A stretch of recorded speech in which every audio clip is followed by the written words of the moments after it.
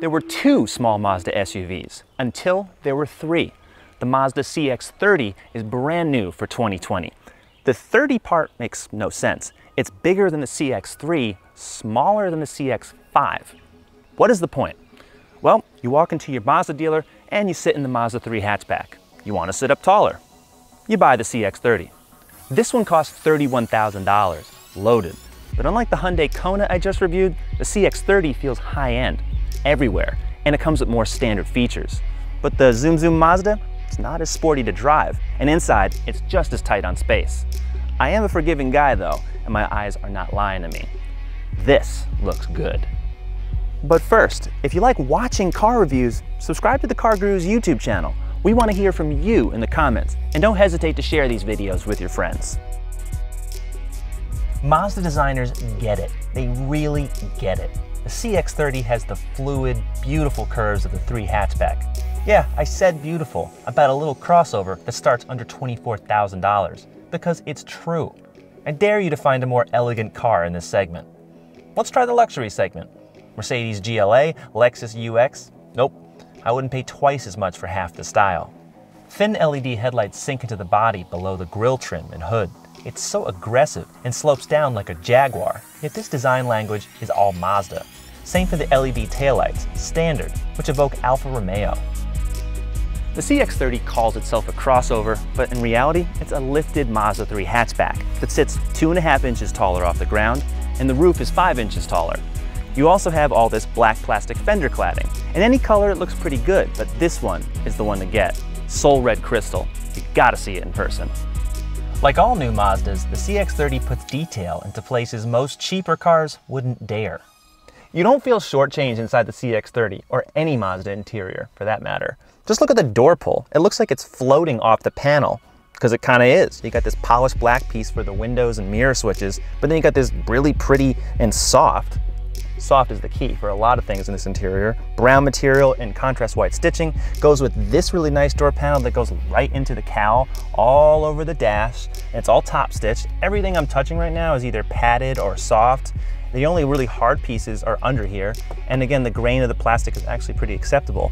And down here, where most car makers will have really hard plastic where you knock your knees against, this is also padded. So everything in here, to be honest, has that tactile quality that on most economy cars you just don't find. It's evident that Mazda wanted a simple and inviting space. Nothing is cluttered. Everything you touch works with precision, like the window switches. They're way nicer than the ones in a Mercedes A-Class, and they all power up and down automatically. And check out the seats. I'm not kidding, they're better looking and feel more supportive than the $70,000 Cadillac XT6. Alright, small gripes. These blank plates could put useful functions right here, and they don't. I don't like the wasted space under the climate controls. And the center console won't fit a phone and doesn't have wireless charging. That's an option that goes into the center armrest. Thankfully, it slides back and covers the entire cubby, and it's really comfy. Space is tight, but it's bearable for short drives.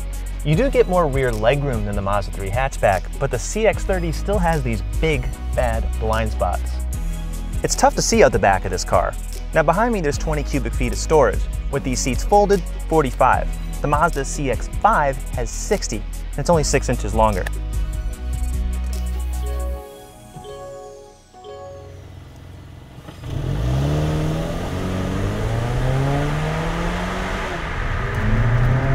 The standard and only engine in the CX-30 is a 2.5 liter inline 4, naturally aspirated.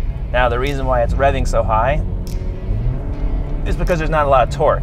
Without a turbocharger, you don't get a lot of torque at lower RPMs. That might seem like technical talk that doesn't matter, but when you're coming out of traffic, when you want to merge into the highway, that's what really pushes your car. The CX-30, it's a good engine when you look at it on screen. 186 horsepower, 186 pound-feet of torque, six-speed automatic transmission. I got manual shifter paddles, but compared to a lot of turbocharged competitors, the oomph just isn't really there. Uh, the peak torque is 4,000 RPM. And I keep talking about torque just to show you that modern engines have come a long way. And even in small crossovers like this, we expect more from them. At least I do. Other than that, the engine is really quiet. It's smooth. The whole ride is refined. There's a lot of noise insulation in here, so you really don't hear a lot of the outside world at all. Most small crossovers, you hear wind and road and tire noise bleeding inside. Not at all here. It's a great experience. Also, the steering and brakes are right up there. And the handling is also good, you know, especially with all-wheel drive or not. The chassis is just sorted. So, a lot of good things to like, just don't love the engine. The handling's good, but even with optional all-wheel drive, the CX-30 rolls a little more and doesn't have the same grip that made the Hyundai Kona such a blast to drive. The tires are narrower. Also, there's no turbo.